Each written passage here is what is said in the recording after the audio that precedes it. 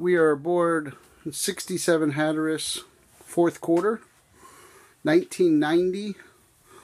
This is a 67 factory built boat. Full size salon with walk around side decks. This is different than most 67s because it has a private entrance to the master stateroom. Only done in the 1990 version. There was about seven of these boats built with that configuration. The 67 Hatteras has one of the biggest aft decks in the Hatteras line.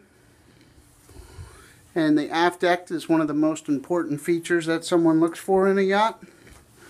It's got a big aft deck with a refrigerator, ice maker, walk around side decks, and a very large cockpit. Name of the boat, fourth quarter.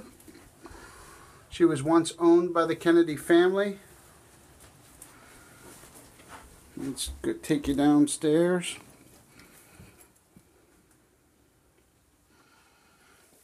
Here's your private entrance.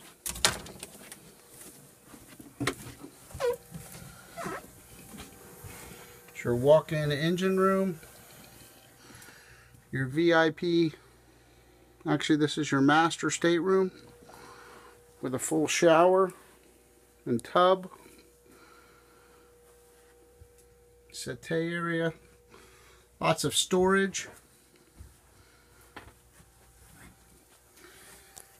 And then here's another feature that is not on a lot of these 67s. This is a walk-in engine room with 1271s instead of the 1292 series.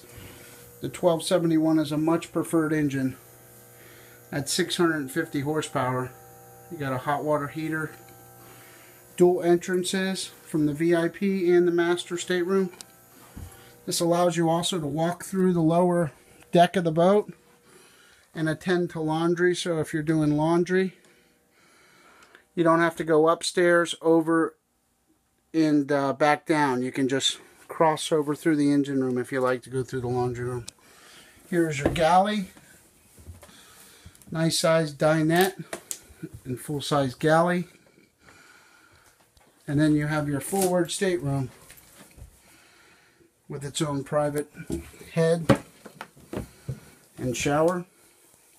This boat has two generators, two 20 kW generators, and water maker